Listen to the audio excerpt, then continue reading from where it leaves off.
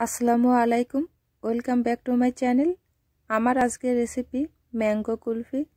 এটা বানাতে খুবই সহজ। মাত্র তিনটি উপকরণ দিয়ে বানিয়ে নিতে পারবেন। আর এটার টেস্ট মুখে লেগে থাকার মতো। চলুন দেখে নিই কীভাবে ম্যাঙ্গো কুলফি বানাতে হবে।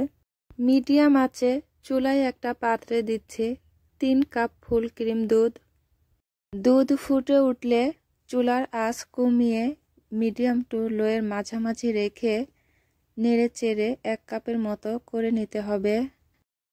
চারটা এলাচ মাথা ফাটিয়ে দিচ্ছি সুগন্ধের জন্য। আপনারা কেশরও দিতে পারেন। দুধ শুকিয়ে অর্ধেকেরও কম হলে দিচ্ছি ওয়ান থার্ড কাপ চিনি। আপনারা কনডেন্স মিল্কও দিতে পারেন। চিনি দেওয়ার পর চার পাঁচ মিনিট জাল করে নিচ্ছে।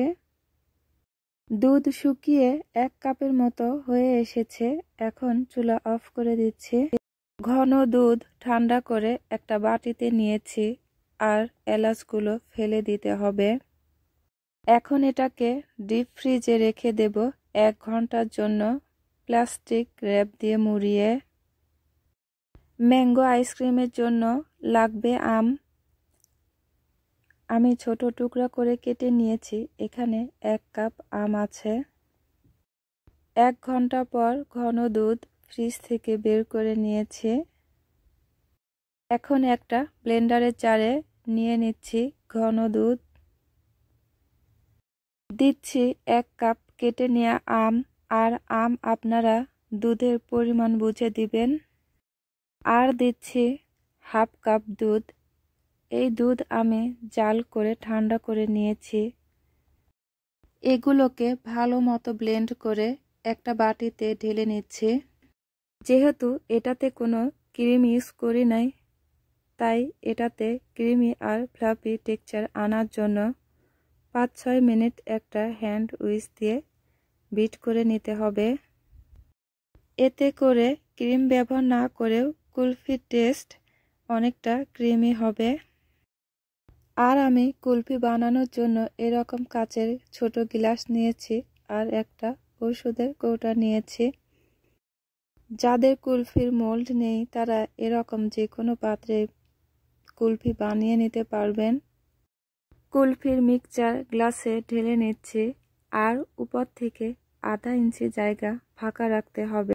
বাকি কুলফির মিক্সচারটা একটা সিরামিকের বাটিতে ঢেলে নিচ্ছি।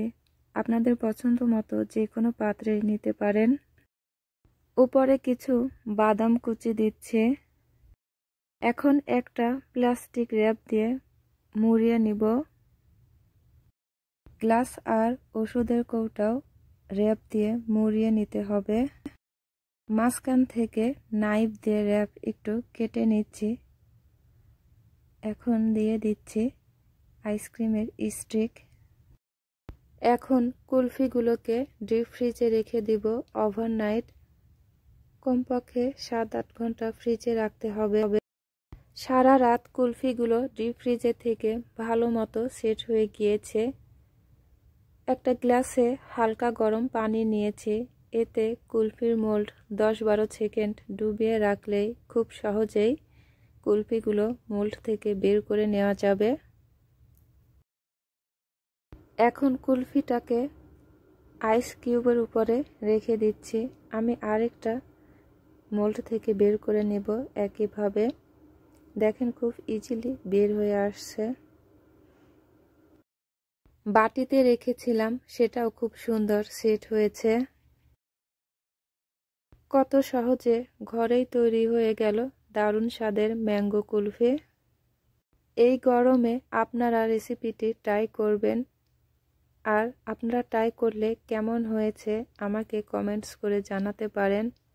ধন্যবাদ সবাইকে। ভিডিওটি দেখার জন্য আজকের মতো এই পর্যন্তই। আল্লাহ হাফেজ।